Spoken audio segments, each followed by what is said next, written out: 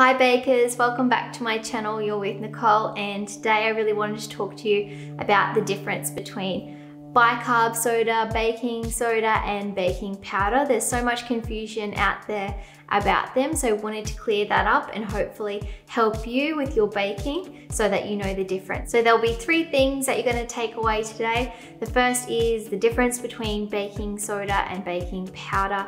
The next is how you can substitute one for another and then lastly how you can make your own baking powder.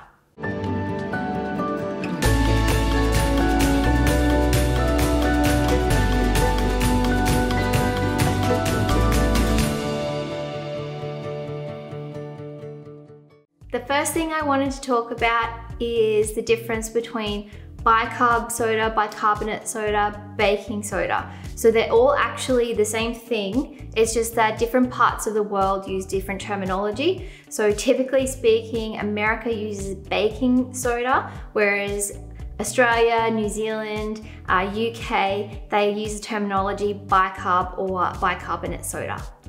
So bicarb soda, baking soda, bicarbonate soda, same, same.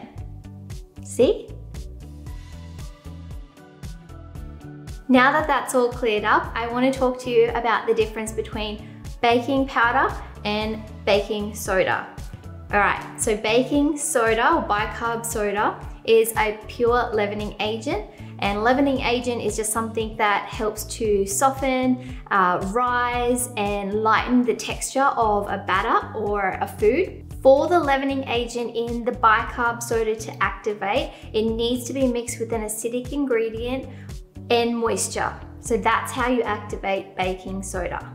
Acidic ingredients can be things like honey or chocolate or lemon juice. Baking powder, on the other hand, is also a leavening agent. However, it has the addition of a dry acidic ingredient in the mixture already. So it only needs moisture to activate the leavening agent. So just to recap, they're both leavening agents. However, baking powder has the addition of a dry acidic ingredient.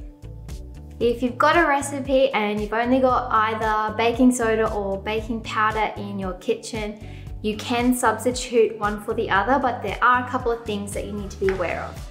First up, let's talk about substitution of bicarb soda.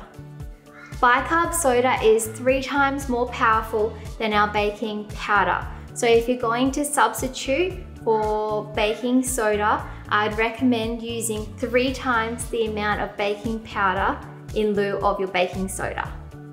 Now let's do the reverse. So if you're substituting baking powder for soda, if your recipe asks for one teaspoon of baking powder and you don't have any, all you need to do is add one quarter of a teaspoon of bicarb soda and half a teaspoon of an acidic ingredient such as lemon juice or vinegar. Alternately, you can also make your own baking powder and it's just one part baking soda, two parts cream of tartar. I will also do a video for you just to show you how to test if your bicarb soda and baking powder is still effective, so make sure you check that one out. Thank you so much for joining me in the kitchen today. I hope that this video will really help you with your baking and your understanding of the differences between baking powder, baking soda, and how they work. That's enough science for the day. Make sure you give me a like and subscribe to my YouTube channel, Le Bon Baker, for all tips, tricks, and delicious recipes for the home baker.